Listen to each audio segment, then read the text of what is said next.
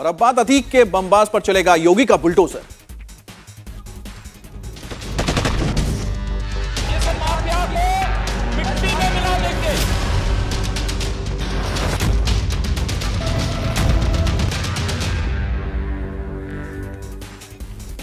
तो पूर्वांचल में दहशत का दूसरा नाम माफिया डॉन अतीक अहमद के गैंग्स के ठिकाने पर थोड़ी देर बाद बुलडोजर का एक्शन होने वाला है। अतीक गैंग के सबसे बड़े बमबाज गुड्डू मुस्लिम का घर आज मिट्टी में मिलाया जा सकता है। विधायक राजूपाल मर्डर केस के गवाह उमेश पाल की हत्या के बाद से प्रयागराज में अतीक अहमद के ठिकानों पर बुलडोजर की कार्रवाई को अंजाम दिया जा रहा है। आज अतीक गैंग के बमबाज गुड्डू मुस्लिम के घर पर बुलडोजर चलवाने की कार्रवाई को अंजाम दिया जा सकता है। गुड्डू मुस्लिम उमेश पाल हत्याकांड में आरोपी है, वो सीसीटीवी में बम फेंकता हुआ नज़र आया था। हत्या के आरोपी गुलाम मोहम्मद के घर पर भी बुलडोजर चलाने की तैयारी हो रही है। सीसीटीवी में गुलाम मोहम्मद एक दुकान से निकलकर गोली चलाता हुआ दिखा था।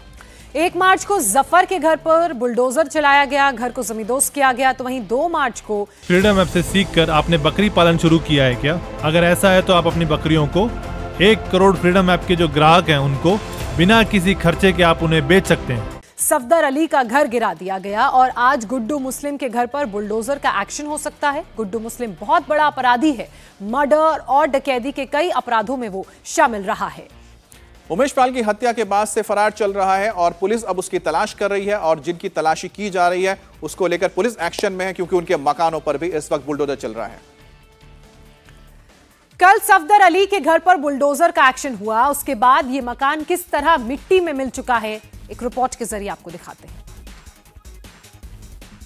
प्रयागराज के चकिया इलाके की साठ फिटा रोड पर ये सफदर अली का मकान है। अब उमेश पाल की हत्या के बाद आ, माफिया अतीक अहमद के गुर्गो अतीक के करीबियों के खिलाफ एक्शन लगातार जारी है लगातार बुलडोजर चल रहा है। अब ये जो सफदर अली का मकान है सफदर की जानसनगंज में S S A gun house के नाम से दुकान है। अब आरोप है कि सफदर की दुकान से अतीक अहमद और उसके गुर्गो को हथियार सप्लाई करने का काम होता था।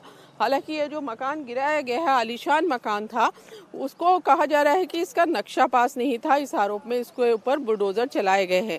लेकिन जिस तरह से उमेश पाल की हत्या हुई, ये कहा जा रहा है, पुलिस जाँच कर रही है कि जो हथियार इस्तेमाल हुए उसमें, वो कहीं सफदर की दुकान से तो नहीं सप्लाई किए गए थे। इसकी जाँच फ़िलहाल की जा रही है। पूरा मकान मिट्टी में मिल चुका है।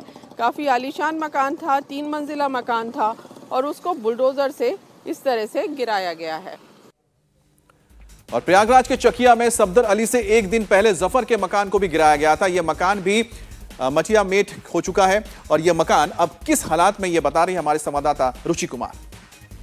उमेश पाल की हत्या के बाद प्रयागराज में मुख्यमंत्री योगी आदित्यनाथ का बुलडोजर चलना शुरू हुआ और बुलडोजर का सबसे पहले निशाना बना ये मकान जो जफ़र अहमद का है, जिसमें कहा जा रहा है कि शाइस्ता परवीन अतीक अहमद की पत्नी किराए पर रहती थी। अब अतीक अहमद की पत्नी शाइस्ता परवीन का उमेश पाल की हत्या में एफआईआर में नाम है।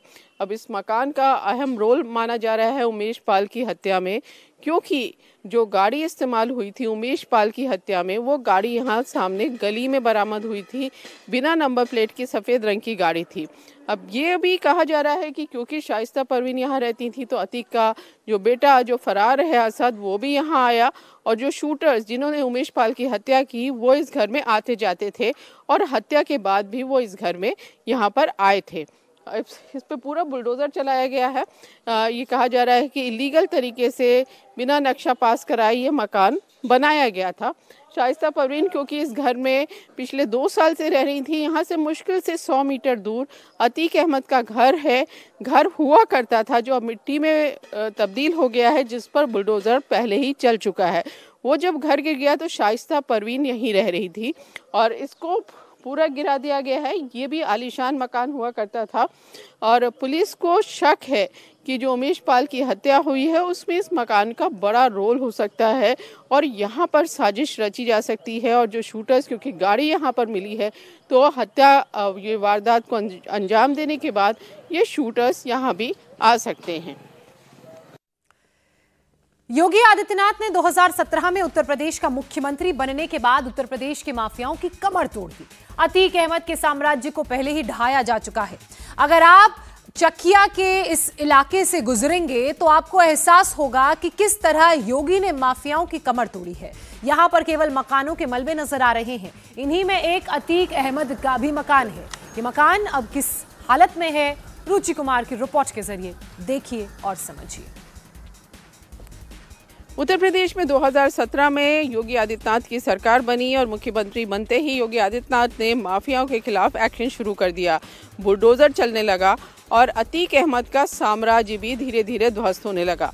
ये प्रयागराज का चकिया इलाका है और ये अतीक अहमद का कभी आलिशान मकान हुआ करता था, बंगला हुआ करता था। करीब चार बीघा ज़मीन पर यह फैला था, सफ़ेद रंग का बंगला था।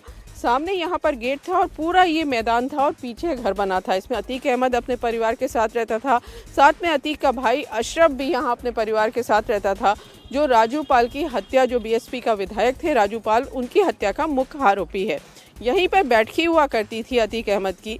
लेकिन योगी आदित्यनाथ सरकार ने बुलडोज़र चलाया और इस मकान को मिट्टी में मिला दिया।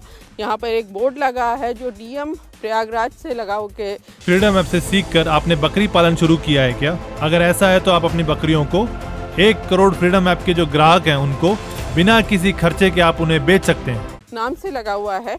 इसमें बताया गया है कि जो गैंगस्टर एक्ट है उसमें अतीक अहमद का ये घर जो फिरोज़ हाजी फिरोज़ का बेटा है अतीक अहमद उसमें ये घर कुर किया गया है क्योंकि ये इलीगल तरीके से जो पैसा कमाया था अपराध करके जो पैसा कमाया था उस उससे ये बनाया गया था। अब ये पूरा मकान ज़मींदोज हो गया है अतीक अहमद का यहाँ पर कुछ भी नहीं बचा है। आ, सामने एक बाड़ा ज़रूर दिख रहा है जो जिसमें अतीक अहमद खूंखार कुत्तों का शौकीन था।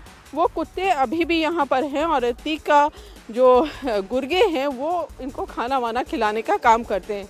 यहाँ से मुश्किल से 100 मीटर दूर सामने गली है, जहाँ अतीक अहमद की पत्नी शाइस्ता परवीन ये मकान ज़मींदोज होने के बाद वहाँ पर रह रही थी और ये पूरा जो चकिया इलाका है, यहाँ अतीक अहमद, उसके रिश्तेदार, उसके गुर्गों के घर थे और सब पे कार्रवाई हुई है। करीब एक दर्जन मकान दुकान यहाँ पर या तो उस पर बुलडोज़र चला है या उसको जब्त कर लिया गया है। इंडिया टीवी हर वक्त, हर जगह। डाउनलोड करने के लिए सर्च करें India TV news Google Play Store या एप स्टोर पर।